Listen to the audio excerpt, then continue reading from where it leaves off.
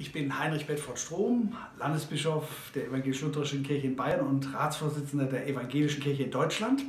Und ich grüße euch alle aus Augsburg von der Konferenz der Studierenden Pfarrerinnen und Pfarrer in Deutschland.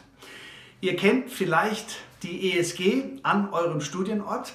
Ich kann nur sagen, es gibt wenig stimulierendere Orte als die Gemeinschaft, die ich hier in Augsburg mit den Pfarrerinnen und Pfarrern der ESG erlebt habe. Wir haben gesprochen über das Thema künstliche Intelligenz, über Digitalisierung, über vieles, was jetzt mitten ins Zentrum rückt und was Orientierung braucht. Wir müssen gerade von der Kirche aus Orientierung geben für die großen ethischen Fragen, die mit der künstlichen Intelligenz verbunden sind. Wir dürfen sie weder verteufeln, noch dürfen sie einfach nur euphorisch feiern, sondern wir müssen sie gestalten. Wir müssen selber bewusst nachdenken über Sinn und Unsinn künstlicher Intelligenz.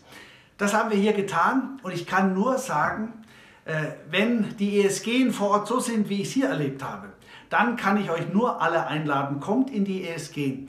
Lernt dieses Umfeld kennen, wo man debattiert, diskutiert, unterschiedliche Meinungen miteinander austauscht und wo man einfach miteinander Gemeinschaft hat, was Gutes zu essen, was Gutes zu trinken findet und vor allem interessante Menschen. Also herzliche Einladung in die ESG.